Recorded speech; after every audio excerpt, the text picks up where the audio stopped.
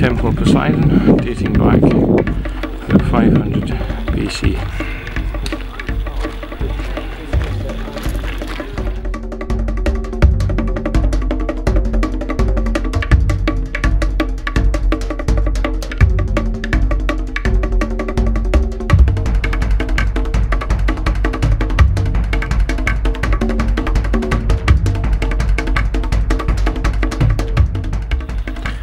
So, Friday afternoon, visiting Temple of Poseidon. Unfortunately, Kathleen's not here. She's flown home for the weekend. Monday. Uh, panning around to the west. This is across of the, it's across the, the entrance to Athens Bay, and that's where we're heading tomorrow, straight across 30 miles.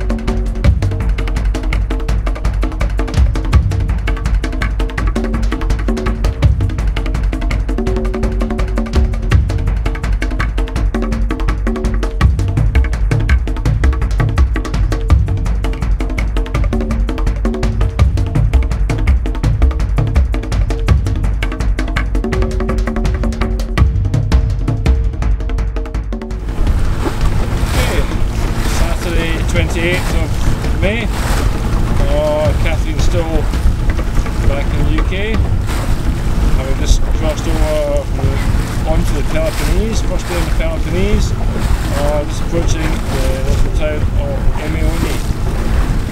Uh, after having no wind all day, just typically the last half mile into the port, we are missing 18 knots in the boat ride. Uh, so been a flat canal all day, apart from